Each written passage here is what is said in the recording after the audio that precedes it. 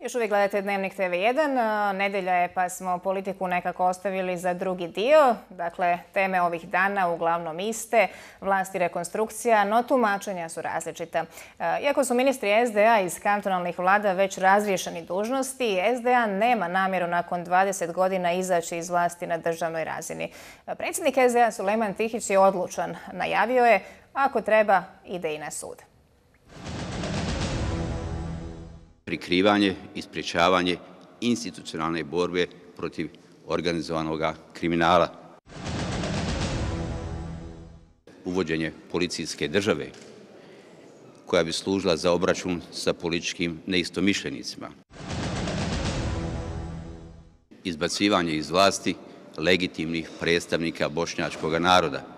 Koalicija dvije najjače bosanske stranke već davno se raspala, ali svađe između dvojice lidera još uvijek traju. Dok jedni tvrde da će izbaciti druge iz vlasti, drugi odgovaraju da otići neće. I tako već neko vrijeme.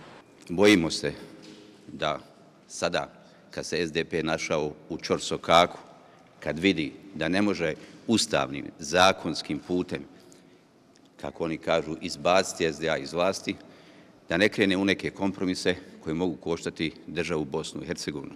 Sada bi čini se bilo lako doći do kompromisnih rješenja. Sada kada je cijela ova priča u političkom smislu već koštala državu. Lider SDP-a Zlatko Lagumđija potpisao je sporazum sa liderom SBB-a Fahrudinom Radončićem. Odmah poslije, ministri SDA smijenjeni su iz kantonalnih vlada. Ovo što je u kantonima urađeno, to je urađeno čak i mimo zakona i mimo poslovnika. I mi ćemo vezano za to voditi određene sporove, sudske postupke, kako bi dokazali da, je, da su ta razrišenja bila suprotna zakonu. Zlatko Lagumđija tvrdi da SDA neglasanjem za budžet ruši državu. S druge strane, Sulejman Tihić tvrdi da Lagumđija neodgovornim i nerazumnim potezima Bosnu i Hercegovinu uvodi u krizu. Ipak, vlast na državnom nivou neće se mijenjati bez rekonstrukcije federalne vlade, a čini se da do toga neće doći.